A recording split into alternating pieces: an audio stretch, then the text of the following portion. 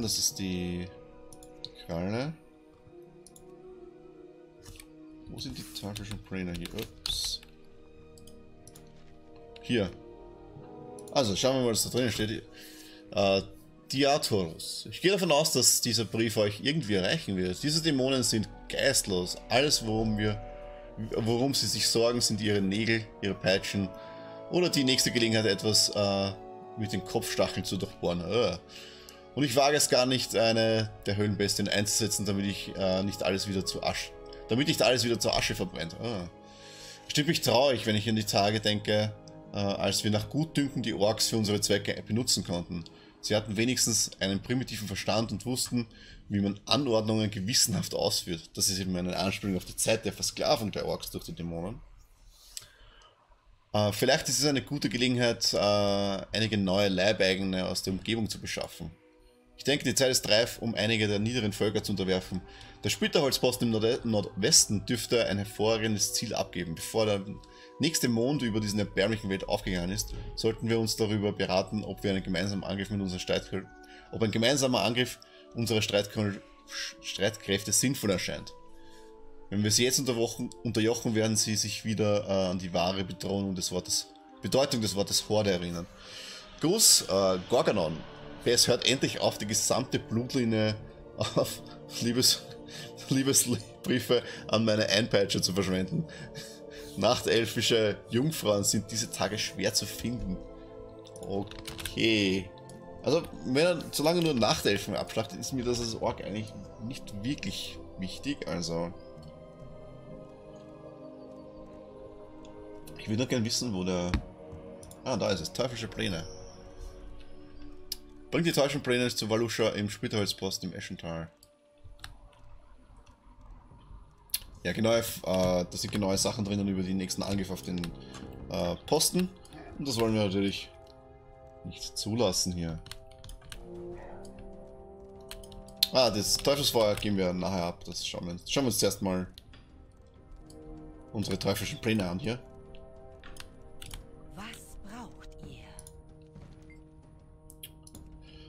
Schreckenslords. Ah, das sind die Schreckenslords, sind die, äh, die das Volk, aus von denen auch Manarov kommt, den äh, Grom hier besiegt. Das sind so große, äh, ist eine gute Frage, also das sind wie riesengroße Kühe, ganz fette Kühe. Nur haben sie Dämonen schwingen hinten drauf und einen äh, Zentauren ähnlichen menschlichen Oberkörper oder dämonischen Oberkörper, wo sie noch Hände haben.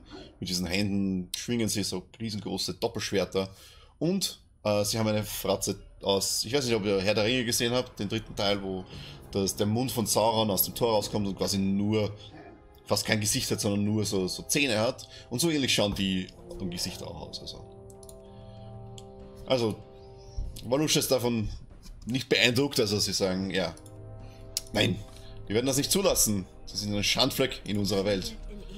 Äh, das ja kurz ignorieren, sondern wir gehen zuerst mal zerstört die Legion.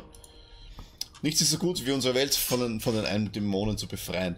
Das ist, ich muss mal kurz nachschauen, ist sie, steht nicht, aber sie hat einen, sie hat einen Stab, den man normalerweise als Druide sehr, sehr, also früher in World of Warcraft, in der, in der alten Version als Druide sehr lange gehabt hat, weil es einer der besten Druidenstäbe war am Anfang. Also ich glaube fast, dass sie irgendwie eher mit der Natur verbunden ist. Also, nichts ist so gut wie die, die Welt von Dämonen zu befreien. Und jetzt nie wieder Kratzer. Es ist eure Aufgabe dafür zu sorgen, dass diese Angriffe der brennenden dass dieser Angriff niemals stattfindet. Geht an der Schlagtisch des. Das ist cool. Ohne sie äh, ist der Rest der Dämonen nur ein Haufen geistloser Untiere. Ihr findet Gorgonon im Dämonensturz südöstlich hinter den, dem Dämonenhügel in der Nähe des schwebenden Speers von Manorow. Das ist cool. Da sehen wir doch die, den Manorow-Speer nochmal. Diatos, der Sucher, lebt irgendwo im Grabhügel äh, im Grabhügel auf dem Dämonensturz. Äh, kehrt mit ihren Waffen als Beweis eurer Taten zurück. Sehr gut. Dämonen, Dämonenlords um Uniten ist ja unsere Spezialität hier. Natürlich na, neben Nachthelfen Uniten. Oh ja, das wird den Elfen eine Lektion erteilen. Seht einfach zu. Okay. Perfekt. Äh, genau, hört zu. Ihr dürft niemandem etwas davon erzählen. Äh, Saufang wird es sicherlich gut heißen, sobald er das Ergebnis sieht, aber wenn mir Voraus etwas bekannt wird, enden unsere Köpfe auf einem Spieß, okay? Draka händigt euch eine hastig geschriebene Notiz aus. Bringt das zu Durak. Ich finde ihn in den Minen hinter mir in Richtung Norden. Ich werde euch weitere Anweisungen geben. Oh. Äh, ist das schon grün jetzt? Schieß mal. Na, schieß mal. Komm, schieß. Nein, sind wir noch rot. Okay. Keine Ahnung, was dann so wirklich abgeht hier. Ich glaube, es wird auch äh, beim Kampf gegen die Schreckenslords da hinten dann nicht so wirklich gut sein, wenn wir hier Furo spielen, sondern wenn wir kurz auf Waffen wechseln, weil wir uns wahrscheinlich gerne selber heilen. Vielleicht sogar auf Schutz, wobei Schutz nicht so toll ist. Fehlt dann einfach der Schaden. Aber Waffen ist, glaube ich, ganz gut unterwegs hier. So. Also. Unser Hexenmeister hier. Durak. Kraft und Ehre. okay. Ähm, Draka sollte es besser wissen und nicht so unverschämt sein. Aber es sieht so aus, als ob ihr bis zu den Haarspitzen mit drin steckt und genauso viel zu verlieren habt wie der andere hier. Wohlan! Also, Drake benötigt eine Art von Magnet, etwas, das ihre dämonischen, das ihre dämonischen Geschosse anzieht. Äh, zufällig kenne ich eine Methode, die, diese Zwecke dienlich, die für diese Zwecke dienlich sein sollte. Ich suchte die Mine nach einem faustgroßen Erzklumpen ab und ich bereite eine besondere Verzau Verzauberung vor. Okay, also suchen wir hier einen Erzklumpen. Ähm, okay. Bin ich schon gespannt, wo wir den finden hier.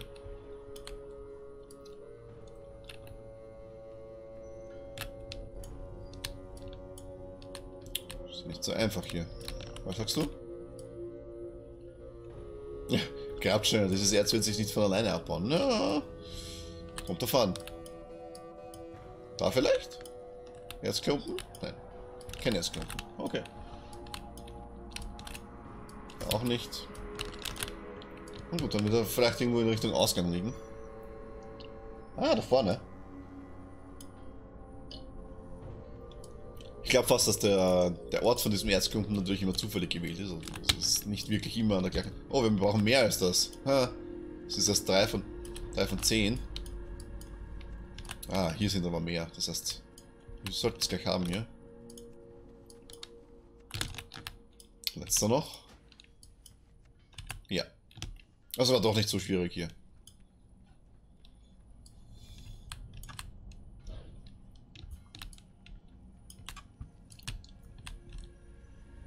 So. Die haben wir. Machen wir noch. Ich glaube, diese Quest mit den Dämonenlords werden wir noch erledigen und dann, glaube ich, ist es soweit. Für heute.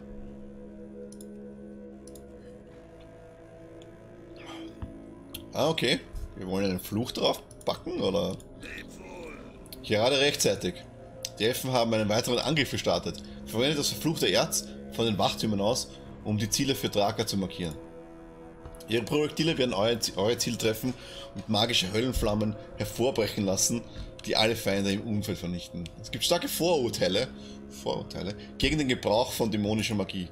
Ähm, oh, Moment. Wo war das? Ungerechtigterweise, oh, dennoch. Aus diesem Grund werde ich euch für die Dauer dieser Mission in einen Wichtel, was? In einen Wichtel verwandeln, um zu verhindern, dass man euch erkennt. Okay, also das sind diese Wichtel.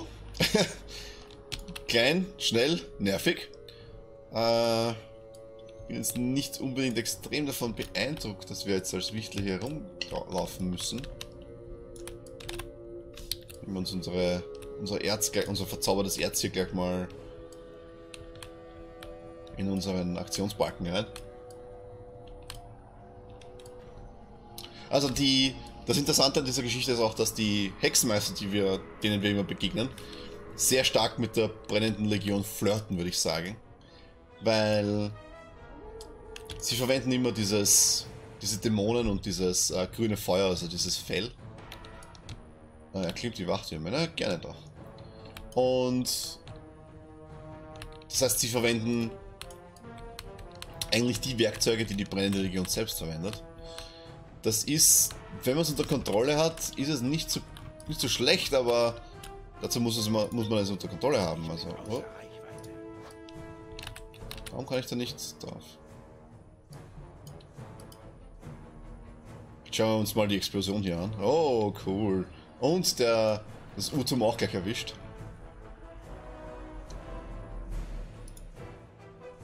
So, wenn wir hier mal herwerfen. Also wir müssen fünf von diesen Urtümern zerstören, das wird etwas dauern wahrscheinlich.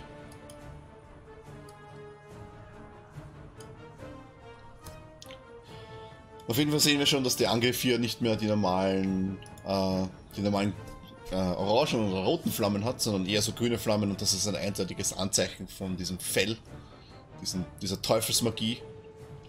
Das spielt auch eine große Rolle in äh, dem Film Warcraft, wenn ihr den gesehen habt, der, den ich übrigens empfehlen kann. Äh, zumindest wenn euch die Geschichte von Warcraft nur annähern und wer interessiert, also das ist er hat leider keine extrem guten Rezensionen bekommen. Ich kann nicht hundertprozentig nachvollziehen, warum. Die Geschichte ist nur am Anfang vielleicht etwas schnell erzählt. Aber abgesehen davon ist es eine typische Abenteuergeschichte, die jetzt nicht extrem gut oder extrem schlecht ist.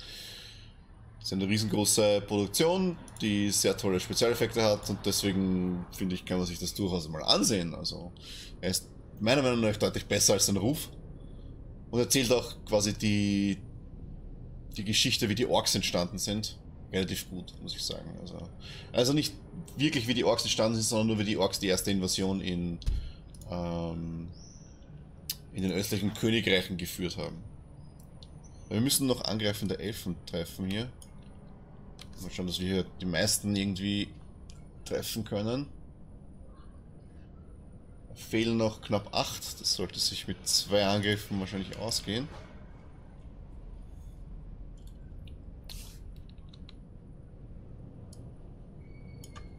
Das Interessante an äh, Warcraft und World of Warcraft ist, dass die Geschichte schon sehr, sehr aufwendig geworden ist, sagen wir mal so. Also es gibt sehr viele Völker, es gibt sehr viel Hintergrundgeschichte zu den eigentlichen Ereignissen, was vorher und nachher immer alles passiert ist. Und das Einzige, was mich am Wochenende etwas gestört hat, ist, dass das Buch an sich, also die Chroniken selbst, von der Sprache her sehr einfach gehalten ist. Also es ist nicht so wie bei Herr der Ringe, dass man da auch sprachlich sehr beeindruckt ist von, den, von der Wortwahl und so. Das ist eher nicht so, würde ich sagen. Sondern sprachlich ist es eher Richtung einfach. Sicher keine Offenbarung. So. Die Zeit des, die Zeit des Wichtels ist vorbei. Aber es ist trotzdem angenehm zu lesen, dass wenn ihr, wenn ihr euch für die Geschichte von Warcraft interessiert, dann würde ich euch trotzdem nicht raten, mit der ersten Chronik anzufangen, sondern wenn überhaupt dann mit der zweiten oder dritten Chronik, je nachdem, ob euch die Strategiespiele von damals, also die Geschichte der Strategiespiele oder die Geschichte von World of Warcraft bzw. von Warcraft 3 interessieren. Weil die Chroniken 2 handeln von, vom ersten und zweiten Orkkrieg, also von Warcraft 1 und 2 und die Chroniken 3 handeln von einem Teil von Warcraft 3 und dann von allen Ereignissen in World of Warcraft bis zum äh, Ende des Kataklysmus, glaube ich, oder Anfang des Kataklysmus, ich weiß nicht genau, also ungefähr dort, dorthin, wo wir jetzt spielen. Also. Ja, die reine Teufelskraft durch eure Seele brüllt. Na, es ist nicht so toll, also. Das Band der vollen Stärke. Okay. Und mit faul meinen sie nicht, äh, äh, dass, dass, sie, dass die Stärke hier nichts arbeiten will, sondern dass sie hier verfault. Wie eine fallende Frucht hier. Ähm, genau, also wenn ihr die Bücher lesen wollt, kann ich nur äh, kann ich das erste nur dann empfehlen, wenn es euch wirklich, wirklich, wirklich interessiert, wie die, äh, wie quasi die äh, die, das Genesis-Buch von, von World of Warcraft geschrieben wurde, also die, die Beaver. Der Rest ist irgendwie nicht so, also wenn man da nicht so drauf steht, würde ich sagen, es ist nicht so interessant. Ich habe es ganz angenehm gefunden, aber das könnte mein Ende bedeuten. Vielleicht sind meine Taten nicht so gut durchdacht gewesen, wie sie hätten sein sollen. Die gute Nachricht ist, dass wir einen Angriff zurückgeschlagen haben, der andernfalls den Untergang des Splitterholzpostens zur Folge gehabt hätte. Lass uns beten, dass Sauerfang das genauso sieht. Also Sauerfang ist der, der Anführer der Orks, also der militärische Anführer der Orks, also der, der General der Orks momentan. Ähm, ja, ich werde sicherlich nach Orgrimmar gerufen, um mich für meine Taten zu rechtfertigen. Bitte Grazel, eilt mir voraus und überreicht ihm diesen Brief. Tut, was in eurer Macht steht, um ihm gegenüber, um in mir gegenüber milde zu stimmen. Gerne, also das, das schickt uns wieder nach Orgrimmar zurück. Wollen wir momentan nicht machen, sondern wir wollen die Dämonen besiegen. Was wir jetzt auch machen werden. Dafür wollen wir aber zuerst noch auf Waffen wechseln. Ups. Ausrüstungsmanager, Waffen, ausrüsten, sehr gut. Haben wir irgendwas, was wir neu anziehen können? Nein. Sind beide schlechter. Nur müssen wir ein neues Talent aussuchen für Waffen. Und zwar Schockwelle kennen wir, Stummels kennen wir, Doppelheld besser. Ähm, ich würde sagen, wir nehmen hier auch Doppelheld besser, weil das unsere Mobilität erhöht und das beim beim Questen meiner Meinung nach am meisten bringt am Anfang. Also nicht nur am Anfang, sondern allgemein.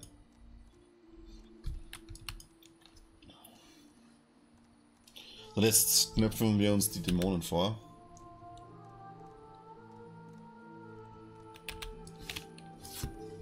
dann sehen wir, wie es äh, Chromasch ergangen ist damals auch. Jetzt sind wir.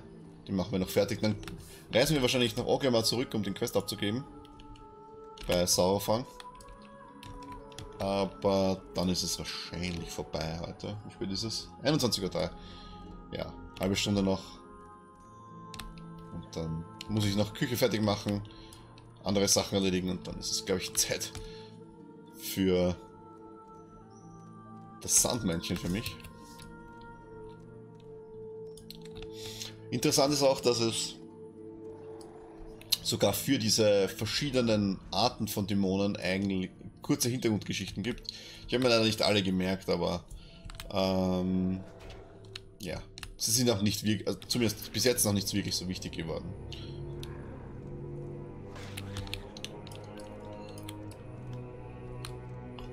So, wie weit können wir jetzt gehen? Ah, da hinten ist auch noch einer. Wir gehen zuerst geradeaus. Ich glaube, da hinten ist nämlich ein von, einer von den Gegnern. Wir versuchen so wenig Schaden wie möglich hier zu nehmen, aber das ist manchmal nicht ganz so einfach. Jetzt? Hier ist nichts, oder wie? Okay, dann wenn wir hier mal...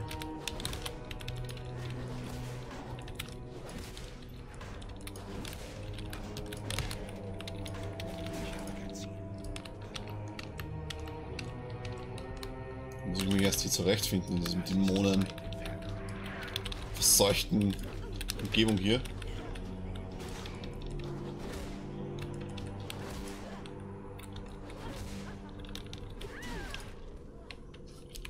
So, also, ich dachte, da hinten ist auch noch irgendwas. Ah. Okay. Wie komme ich da hin? Geht's ja nicht drüber. Ah, darauf geht's. Haha. Gefunden. Ah, ist der Dämonen stark, okay.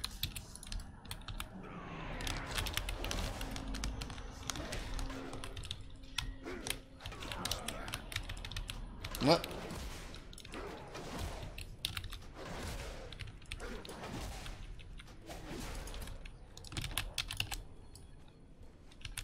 Da oben wird wohl einer von den zwei riesengroßen Typen auf mich warten.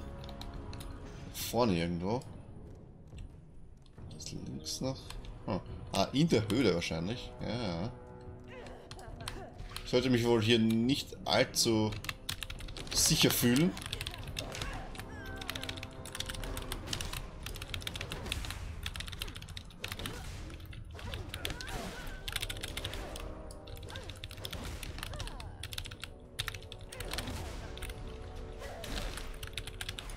Ah, jetzt haben wir genug Lebenspunkte. Das ist der Grund, warum ich hier mit Waffen rein wollte, damit ich sehr schnell zum zu den Gegnern, zu, zum eigentlichen Gegner vordringen kann und hauptsächlich dann mich relativ schnell heilen kann. Dann müssen wir runter in dieses... Oh, das ist ja wirklich, wirklich, wirklich weit. Okay. Na dann. Jetzt wohl so sein. Ah, diese Höhle, da habe ich, da hab ich auch posttraumatische Stress, Stressstörungen davon. Äh, die Höhle hat ein Layout, das äh, genauso verwendet wird in der Startzone der Nachtelfen. Und zwar schon seit Beginn des Launches von World of Warcraft. Und die Höhle war damals quasi der, der Newbie-Killer, weil ein Quest hier äh, verlangt hat, dass wir hier... Oh. War das schon? Hey, nicht mit meinen Dämonen hier killen. Ähm, der Quest ähm, hat verlangt, dass man hier reingeht. Also zumindest ist in der Startzone der Nachtelfen. Und dann... Ja, das war natürlich... Das ist gar kein so ein Typ. Das ist ein, ein Nasresim. Whatever. Uh, ups. Und die Gegner hier in dieser, in dieser Höhle waren super, super stark. Und das war natürlich schlecht, wenn man mit Level 7 oder 8 reingegangen ist, obwohl die Höhle eigentlich für Level 10 gedacht war. Man hat aber die Quest schon auf Level 7 oder 8 bekommen, das heißt, irgendwie war das von der... war das nicht so gut durchdacht damals. Und da sind Horden an Leuten reingelaufen und da drinnen einfach gestorben und haben sich verirrt, weil die Höhlen doch sehr aus ausladend sind. Und sehr viele verwinkelte Ecken haben. Können wir also einfach eigentlich unsere Stärke aktivieren hier. Sehr gut. Ah, das ist der Teufelspeer. Den ersten von den zwei Artefakten gefunden. Und deswegen habe ich habe da auch mit meinem, ich habe damals einen äh, Nachtelfen Druiden erstellt, der schon zu dem Zeitpunkt sich in eine Katze verwandeln konnte, die sich unsichtbar machen kann, aber das hat alles nichts geholfen. Es war einfach fast unmöglich, diesen Dungeon zu, also die Quest in dem Dungeon abzuschließen. Weil so viele Gegner so stark waren dort. So, und wo müssen wir jetzt hin? Ah, genau auf die andere Seite war doch klar. Und das war eben, die Höhle hat sehr, sehr äh, vom Layout aus, äh, vom Layout her drinnen hat sie sehr ähnlich oder quasi gleich hier ausgesehen wie die Höhle hier.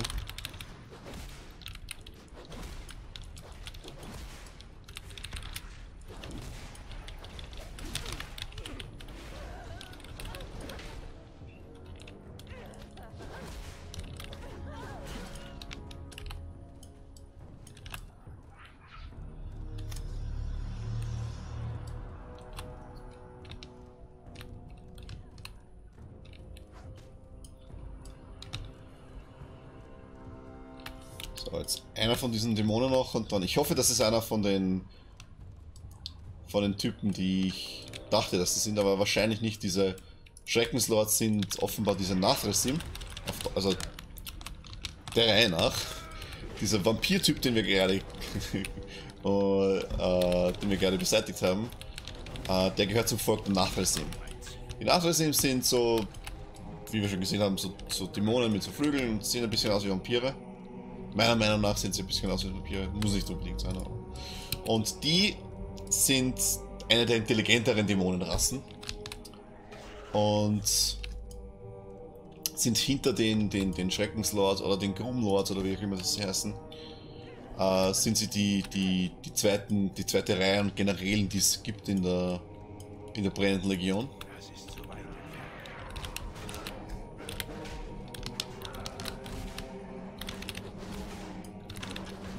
Ah, sterben wir jetzt? Nein. Huh, knapp.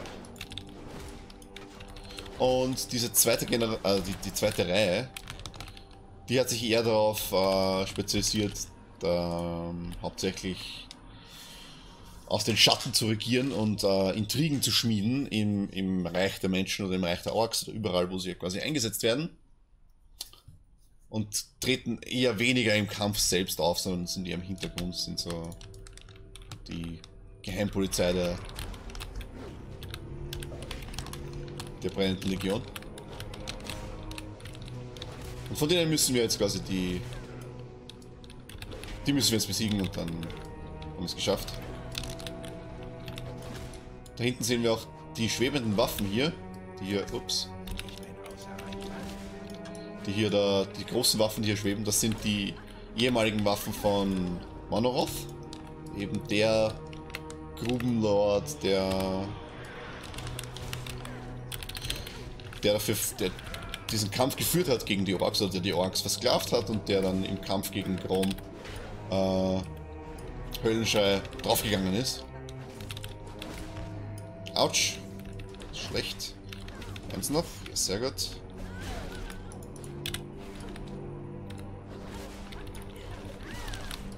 Ja, sehr schön. Das sind die Kombos, wie ich, ich sie wünsche. So. Da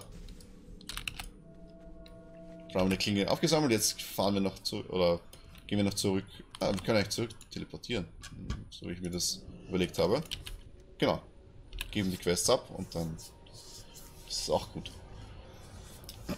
Und diese Nachrichten, die sind, ja, ich weiß nicht, die sind äh, eher weniger wichtig.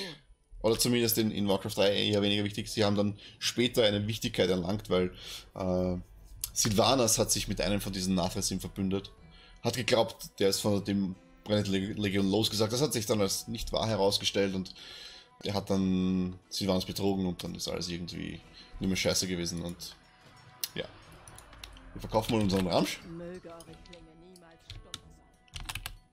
Und geben den Quest ab. Ups.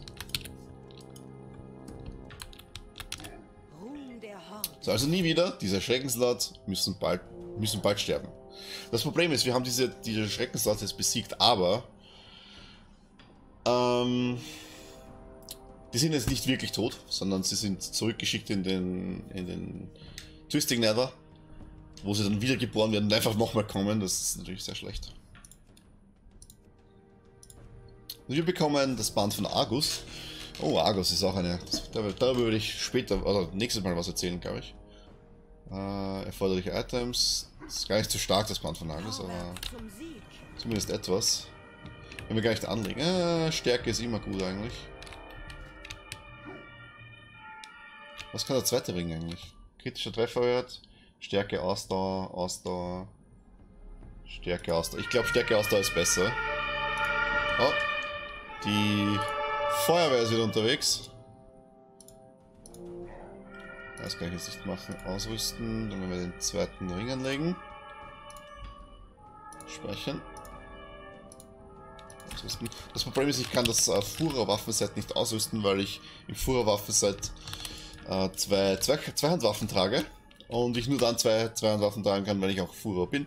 Das heißt, ich kann jetzt nicht den den Ausrüstungsmelder früher hier ausrüsten, weil das würde mir sagen, das geht nicht. Und dann würde ich wieder das Fuhrset mit einer Waffe speichern. Das heißt, das ist nicht so toll. Da gibt es noch zwei neue, neue Quests, wieder mit Dämonen. Also, Loke Okar. Höretki, ich weiß, dass dieser Angriff auf den äh, Splitterholzposten uns alle mitgenommen hat. Aber falls wir die Satyr-Portale aus den Augen verlieren, oh Satyren, muss ich auch noch erklären, was die sind, aus den Augen verlieren, steht uns nach dieser Krise eine noch größere bevor. Ihr wisst nichts von den Portalen? Im Nordosten in dieser Region äh, von Saturnar und, Xa äh, und Xavian unternehmen die Satyren den Versuch, Dämonen zu beschwören, um ihre Zahl zu verstärken. Wir müssen die Portale schließen, egal äh, was sich uns dort auch in den Weg stellen mag. Äh, was Satyren sind, äh, dazu nächstes Mal mehr. Das hat mit den Nachthelfen zu tun, ist aber auch etwas kompliziert. Saturn Hörner, sehr gut. Hey, ich bin auf der Durchreise nach Ratchet, habe hab das ganze Eschenal durchwert und mich entschlossen, hier im Sprinterholzposten Rast zu machen. Ich suche immer nach guten Gelegenheiten und es scheint mir, dass in Ratchet zurzeit Saturnhörner sehr gefragt sind. Nachdem ich mich hier ein bisschen umgehört habe, glaube ich, dass ich, dass die Saturn in der Nachtflucht, Saturna und Xavian genau die Art von Hörnern besitzen, die ich suche. Ich kann mich mit diesen Saturnen nicht messen natürlich, aber ihr könnt das. Ich sage euch was. Wenn ihr mir diese Hörner bringt, soll es euch nicht zu schaden sein. Machen wir dann. Allerdings nicht mehr heute, sondern nächstes Mal. Ähm genau, das war's mit dem weiteren Teil im Eschenwald. Wir werden natürlich den Eschenwald weitermachen. da ganz im äh, Westen, im Nordwesten gibt es die, die Dunkelküste und in der Dunkelküste ist was ein Teil der Dunkelküste. Nein, das stimmt nicht. Das stimmt nicht. Da gibt es den Zoram-Strand hier. Verwechselt jetzt. Ähm, und am Zoram-Strand gibt es dann, im Norden vom Zoram-Strand gibt es die nächste Instanz. Das ist, sind diese, äh, wie heißen sie? Ah, die tiefschwarze Grotte ist dann dort. Die werden wir uns dann anschauen, wenn wir dort sind. Allerdings dauert das wahrscheinlich noch ein paar Streaming-Sessions. Und, oh, weil Vorex, Grüße auch an dich. Allerdings, schade, dass du so spät kommst. Ich bin gerade am Aufhören. Du kannst dir natürlich das VOD am, am Channel anschauen und dann auch auf YouTube in ein paar Tagen. Aber nicht verpassen, weil sehr viel super tolle Informationen über die Nachtelfen und die Dämonen, falls sich das interessiert. Äh, ja, natürlich, ja. Mehr Content von mir ist immer gut. Ganz klar. Äh, also wie gesagt, ich werde auch morgen noch eine Stunde oder eineinhalb Stunden streamen. Und dann bin ich fürs Wochenende wieder weg. Das heißt, die nächsten Streams gibt es dann erst nächste Woche wieder. Und allerdings bis morgen wünsche ich euch natürlich wie immer viel Spaß.